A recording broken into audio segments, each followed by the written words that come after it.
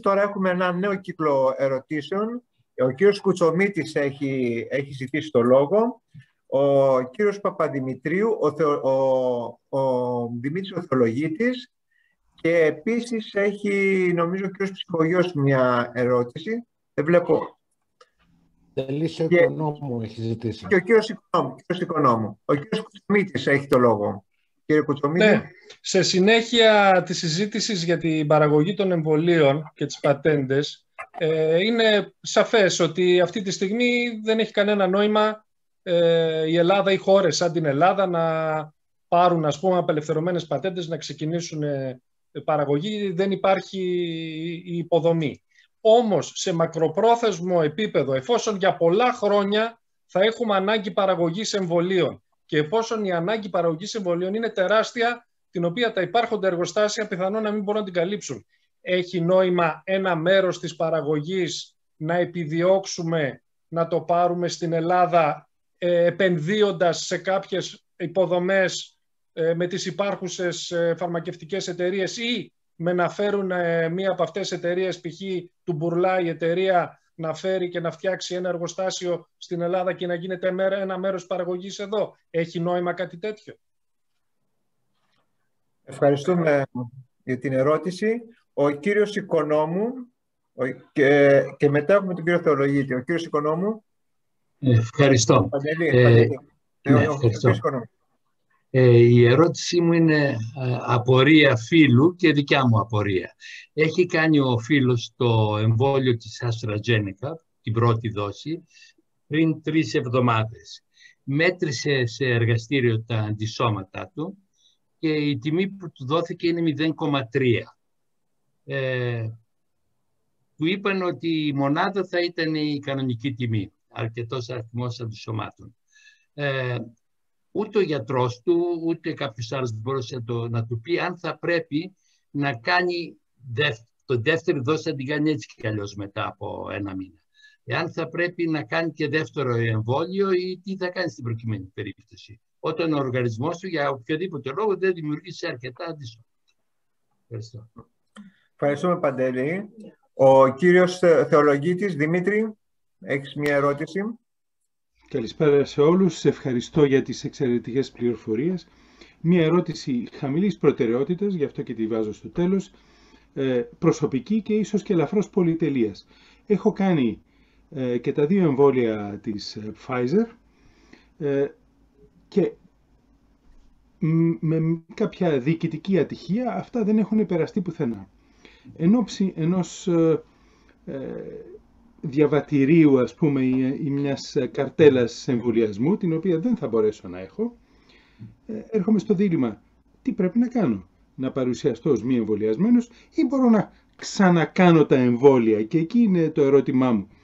Μπορώ να ξανακάνω εμβόλια όντας εμβολιασμένος ή κινδυνεύω να πάθω κάτι αν ξαναεμβολιαστώ μία και ε, δύο φορές; Μέχρι στιγμής κανείς δεν έχει μπορέσει να μου δώσει μια απάντηση. ε, σε αυτό το τέλειος προσωπικό θέμα, δεν νομίζω να είναι γενικό, ε, του υπερεμβολιασμού. Αν μπορούν οι δύο εισηγητές μας να μου πούνε κάτι, θα ήμουν ευγνώμων. Ευχαριστώ. Μάλιστα, ευχαριστούμε Δημήτρη. Ο κ. Παπαδημητρίου θέλει να κάνει μια ερώτηση. Ναι, καλησπέρα, καλησπέρα σε όλους. Ε, χρόνια πολλά. Καλησπέρα. Ε, ευχαριστούμε πάρα πολύ και τους δύο μιλητές. Ήθελα να ρωτήσω το εξής. Ε, η, στη χώρα μας ε, υπάρχουν αρκετοί αρνητές για τα εμβόλια και αυτό ε, φαίνεται από το όταν κανείς συζητά και με τον περίγυρό του και υπάρχουν εξηγήσεις σε σχέση με τα fake news ή ίσως κάποια μη πιστικότητα όπως υπόθηκε από την κυβέρνηση. Εγώ εκεί όμως που απορώ ειλικρινά είναι σε σχέση με το χαμηλό ποσοστό εμβολιασμού δόθηκε νομίζω 65% από τους υγειονομικούς. Αυτό αδυνατό να το καταλάβω. Και ειλικρινά ε, είδα ότι είναι πολύ χαμηλό, μόνο η Βουλγαρία ήταν χαμηλότερη. Πώς, πώς εξηγείται αυτό το φαινόμενο; Πώς μπορεί κάποιος ο οποίος είναι επιστήμονας, ο οποίος δουλεύει στον χώρο της υγείας, ε, να μην θέλει να εμβολιαστεί; Ευχαριστώ. Ευχαριστούμε για την ερώτηση. Νομίζω, ποιος δεν ξέρω, θα απαντήσεις, ε, Γιώργο. Θα... Ναι. Γιώργο, μπορεί να απαντήσεις. Ναι. Ναι. Λοιπόν, όσον αφορά τα, το μέλλον των εμβολίων, ομολογώ ότι διαβάζοντας, ε, παρακολουθώντας τη βιβλιογραφία και βλέποντας τις πρόδρομες προσπάθειες που έχει κάνει ακόμη και το Καζακστάν, το Βιετνάμ που κάνει πολύ μεγάλη προσπάθεια παραγωγή δικού, παραγωγής δικού του εμβολίου, ε, η Τουρκία, ε, Ακόμη και η Κούβα, παρόλο που είναι το γνωστό ανέκδοτο, το φέρτε μας τα πέντε εμβόλια της Κούβας, εντάξει, να τα φέρουμε, να τα φτιάξουν πρώτα. Ε, λοιπόν, προσπαθούν όμως πολλές χώρες να φτιάξουν εμβόλιο και νομίζω ότι στον χώρο της φαρμακευτικής πρωτοπορίας, στις, ε, στον χώρο της ε, έρευνας, έχουμε μείνει πίσω ως χώρα, πιθανώς και λόγω του, της κρίσης της οικονομικής. Ε, κάποια στιγμή, ναι, θα πρέπει να τεθούν οι βάσεις, όχι μόνο για να παράγουμε απαραίτητα κάποιο από τα γνωτά διαθέσιμα εμβόλια, αλλά και το να προσπαθήσουμε να αναπτύξουμε όσο δυνατόν περισσότερο την καινοτομία. Ε, και η καινοτομία μπορεί να είναι ακόμη και ένα εμβόλιο, δηλαδή το να φτιάξει ένα απενεργοποιημένο εμβόλιο, για παράδειγμα, σαν αυτά της Κίνας που είπαμε, δεν είναι τόσο ε, καινοτόμος επιστήμη, απαιτεί απλά γνώση, εκπαίδευση ε, και υποδομές, τα οποία σταδιακά για το μέλλον καλά θα ήταν να υπάρχουν, σαφώς, και όλοι θα το θέλαμε. Όχι απαραίτητα να μην γίνουμε απλά μεταπράτες, αλλά να μπορέσουμε τουλάχιστον να έχουμε και μια όποια αυτάρκεια μπορεί να έχουμε σε κάποια σημεία. Ακόμη και αν μπορούσαμε να παράγουμε έστω και 500.000 δόσεις εμβολίου και, όχι, και ενός όχι τόσο καλού εμβολίου, αλλά επαρκούς. Ε, όσον αφορά ε, το AstraZeneca, το να κάνει κάποιος αντισώματα τρεις εβδομάδες μετά το AstraZeneca είναι λάθος. Δεν έχει κανένα λόγο να κάνει αντισώματα ούτε τρεις εβδομάδες μετά από, μετά από όποιο εμβόλιο είπαμε και είναι λογικό να έχει μηδέν αντισώματα στις τρεις εβδομάδες μετά το AstraZeneca. Ειδικά για το AstraZeneca φαίνεται ότι η μεγάλη του προστασία βγαίνει από την, κοιτάφ, ε, κυταρική, από την κυταρική ανοσία, την οποία δεν τη μετράμε εύκολα στο εργαστήριο και φαίνεται ότι αυτό βγαίνει από την πρώτη δόση. Είναι ένα πράγμα μη μετρήσιμο. Δεν έχει κανένα λόγο ο άνθρωπος να ξανακάνει αντισώματα, έχει νόημα να πάει να κάνει κανονικά τη δεύτερη δόση του. Από εκεί και πέρα, αν είναι νοσοκατασταλμένο, θα πρέπει να συζητήσει με τον γιατρό του αν πρέπει να ξανακάνει αντισώματα, αλλά εν ευθέτω χρόνο και σαφώς όχι στις τρεις εβδομάδες που το έκανε τώρα. Ε, όσον αφορά τους υγειονομικούς, όσον αφορά τους υγειονομικούς, το 62% είναι το αναμενόμενο ποσοστό όταν όλα τα προηγούμενα χρόνια, με εξαίρεση την τελευταία τριετία ίσως, ε, το 20% των υγειονομικών εμβολιαζόταν για την γρήπη. Κάπου εκεί ήταν τα νούμερα. Αν έφτασε 30 μια χρονιά, είχε φτάσει 30 μια χρονιά και πανηγυρίζαμε. Το 2018 νομίζω. Δηλαδή, μιλάμε για τέτοια νούμερα. Το ερώτημα λοιπόν είναι, ναι, ποιος εκπαιδεύει τους υγειονομικούς. Υπάρχει συνεχιζόμενη ιατρική εκπαίδευση για να μιλήσουμε για τους γιατρούς, γιατί πολλοί γιατροί αποθαρρύνουν τους ε, ασθενείς τους από το να εμβολιαστούν. Πάρα πολλοί γιατροί δυστυχώς. Υπάρχει αξιολόγηση, υπάρχουν τέτοια απλά πράγματα. Υπάρχουν ε, θεσμοί από το Υπουργείο ή από τους ιατρικούς συλλόγους ώστε να υπάρχει ένας κόφτης. Δηλαδή, τέλειωσα εγώ την ιατρική του 1994. Με έχει ξαναεξετάσει κανένας αν ξέρω κάτι. Αν είμαι ενήμερος για τις τελευταίες εξελίξεις. Έχω διδαχτεί ποτέ κάτι για τα εμβόλια. Χρειάστηκε, έμαθα τα καινούργια πράγματα για τα εμβόλια. Με εξέτασε κανένας αν τα ξέρω αυτά τα πράγματα. Αυτά τα πράγματα τα οποία στο εξωτερικό, για παράδειγμα, στις ΗΠΑ είναι κανόνας. Πρέπει να περάσεις από κάποιε, να έχεις κάποιες βαθμούς συνεχιζόμενης ιατρική εκπαίδευσης και να δώσεις εξετάσεις σε ορισμένες περιπτώσεις ξανά. Εδώ, όποιος τολμήσει βέβαια να τα πει αυτά, τα είχα πει κάποτε σε κάποιους ε, που ήταν μέσα στην πολιτική και με κοίταξαν περίεργα και γέλασαν. Ε, αναμενόμενο. Ε, τέλος, για το εμβόλιο της Pfizer που με τον ε, κύριο που, ε, που έκανε τα, τις, έχει εμβολιαστεί αλλά δεν φαίνεται πουθενά.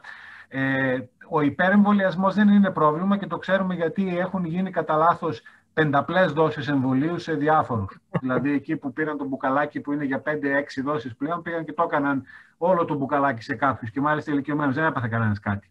Ε, Συνεπώς, το να ξανακάνει κάποιος εμβόλιο, το πολύ πολύ να έχει παρενέργειες, δεν θα πάθει κάτι.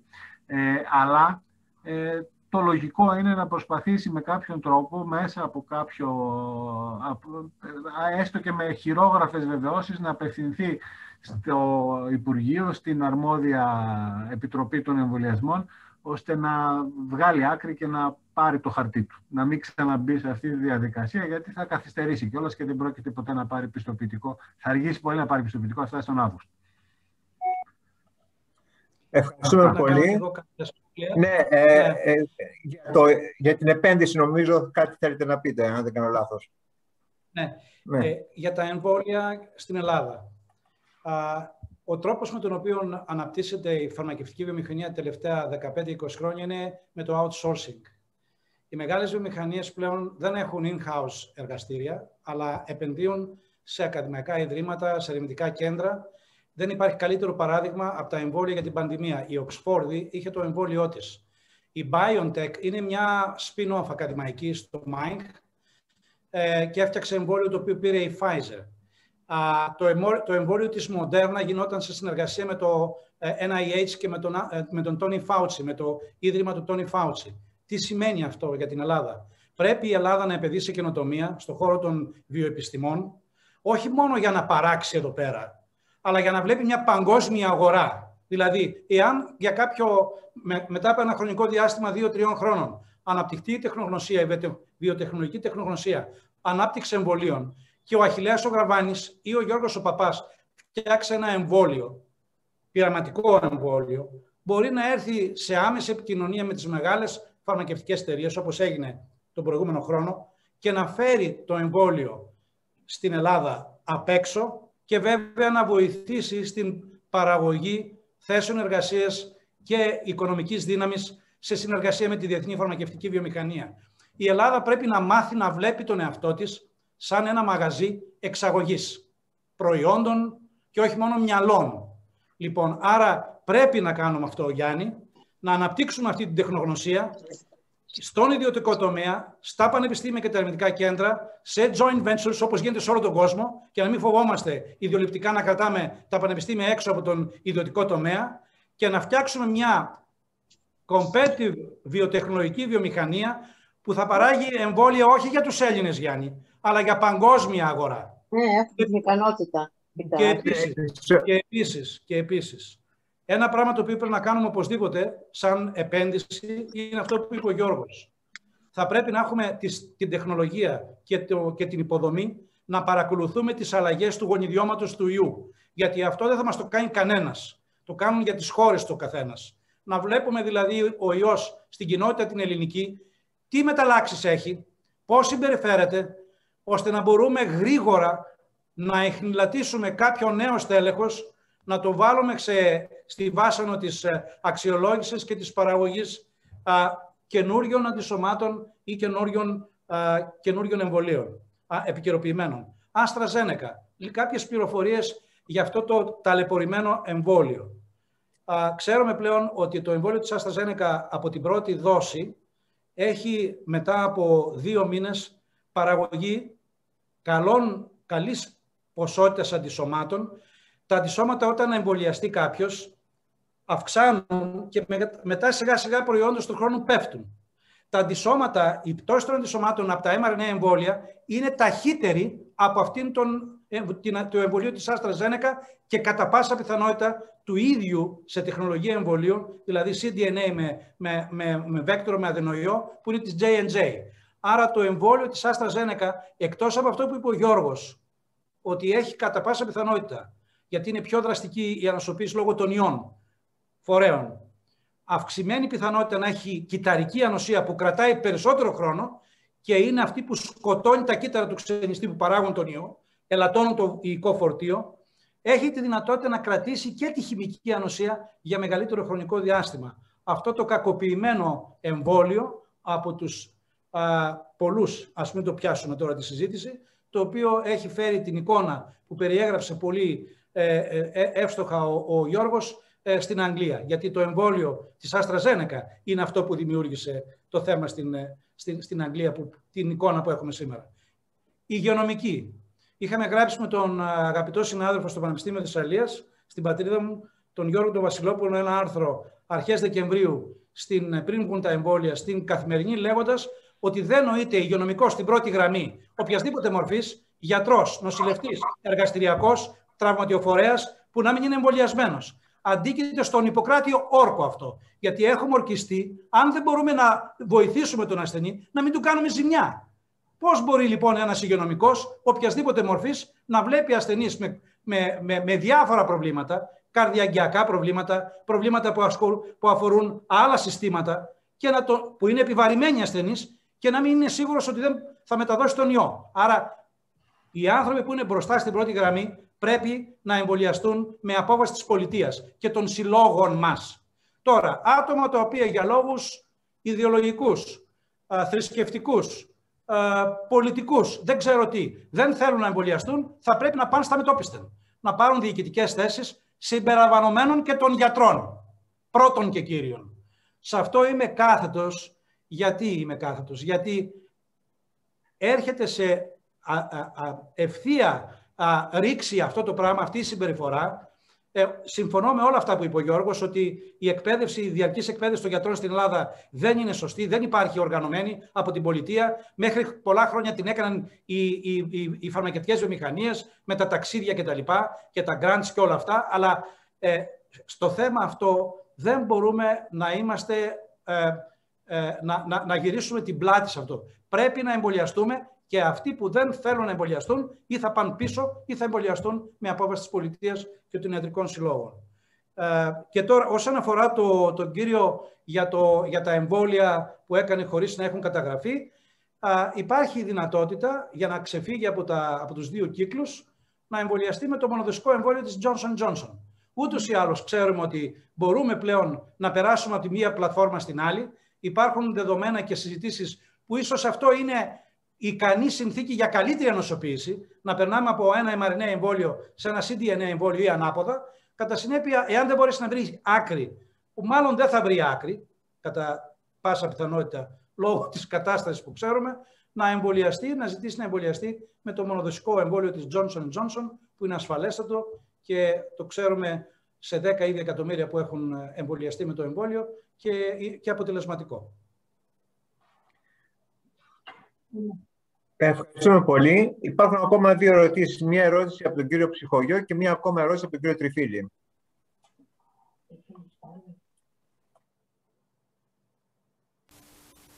Ναι, ουσιαστικά θέλω να ξαναθέσω την ερώτηση που έθεσε η Ελισάβετ η Κοντζιά που αναφέρθηκε στο 5% που δεν ε, ανοσοποιούνται από το εμβέλιο αν έχει αποτελεσματικότητα 95% που μας είπε ο κύριος ε, Παπάς, αυτό σημαίνει ότι 5% δεν αποκτούν αντισώματα ούτε την κυταρική προστασία και άρα καλό είναι κάποια στιγμή να κάνουμε όλοι έλεγχο αντισωμάτων ή είναι περιττός αυτός ο έλεγχος.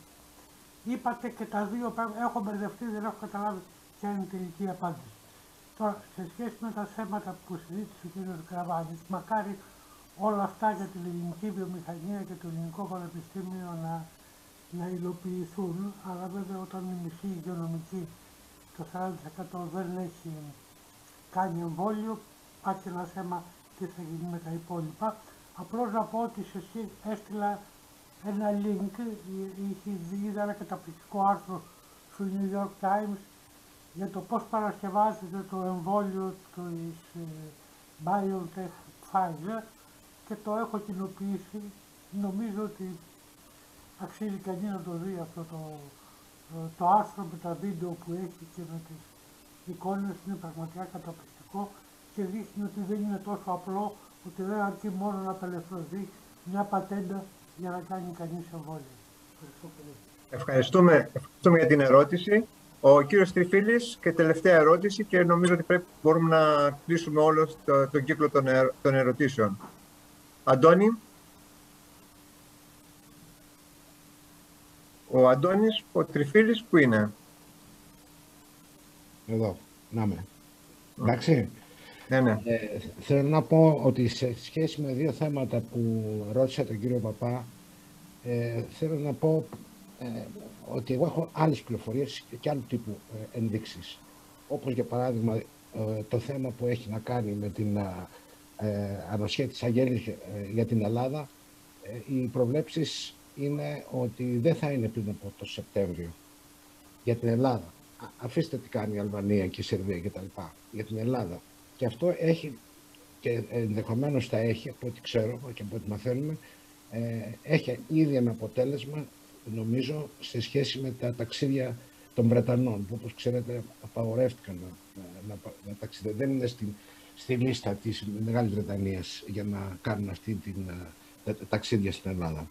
Ε, συνεπώς ε, φοβάμαι ότι δεν είναι σωστή η πρόβλεψη ότι θα γίνει η ανοσία της Αγέλης ε, Δεν ξέρω, θα, θα αργήσει, θα πάει ίσως και Σεπτέμβριο.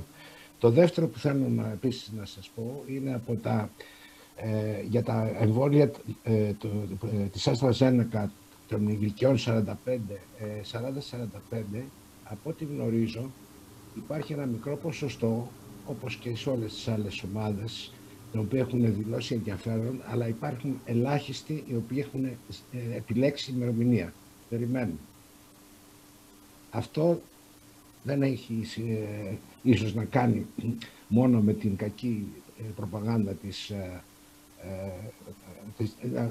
ας πούμε, επικοινωνιακή πολιτική της Άστρα Ζάνικα, αλλά έχει να κάνει και με τον τρόπο με τον οποίο σπρώχνει, όπως λέει και κάποιος αρχηγός της αξιωματικής ε, πολιτικός ε, ναι, σπρώχνει τον κόσμο να κάνει κάτι το οποίο δεν θέλει να κάνει. Λοιπόν, είναι λίγοι αυτοί οι οποίοι έχουν δηλώσει. Είναι, ε, βάση περιπτώσει, ούτε 10% δεν έχουν επιλέξει ημερομηνία. Αυτές είναι και πληροφορίες. Ναι. Εντάξει, Αντώνη. Θα το... Δεν ξέρω αν θέλει κάποιος να απαντήσει σε αυτές τις παρατηρήσεις.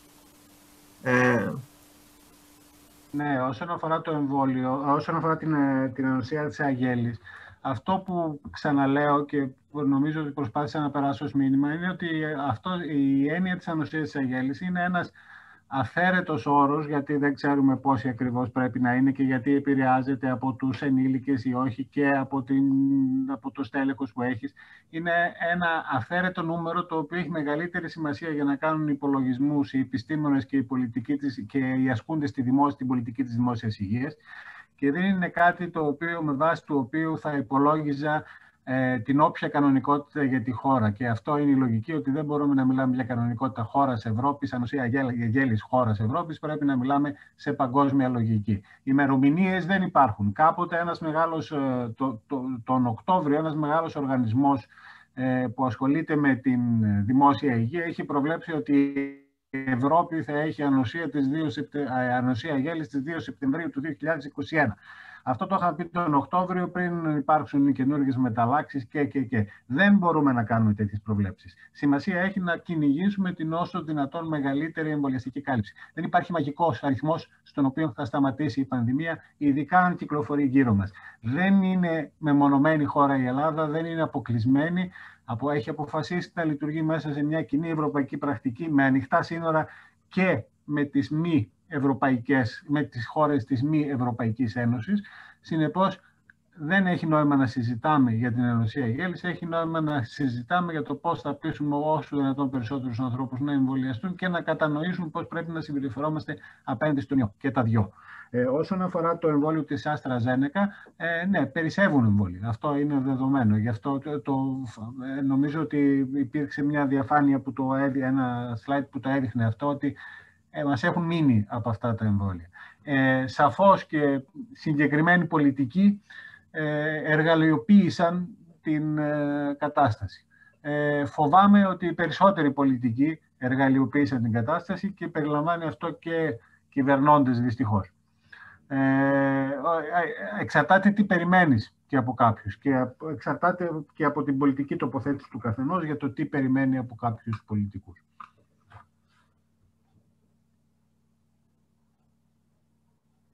Ευχαριστούμε Γιώργο για αυτή την ε, διευκρίνηση. Εγώ ήθελα κάτι να συμπληρώσω όσον αφορά την, ε, την Αφρική. Στο Κοκό πήγε μια παρτίδα γύρω στις 4.500 ε, εμβόλια AstraZeneca και εκεί πέρα επειδή υπήρχε αυτή η φήμη δεν τα έκανε κανένας.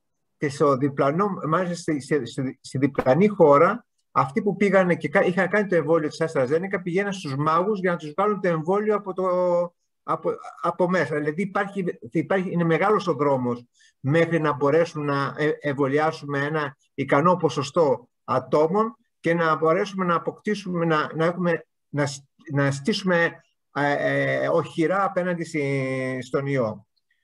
Ε, δεν ξέρω αν θέλει να πει κάτι, να συμπληρώσει κάτι ο, ο κύριος Γραβάνης ε, για να κλείσουμε και, τη, και τις ερωτήσεις και να να, να ξεκινήσουμε να αποχαιρετιστούμε. Ε, νομίζω όχι. όχι.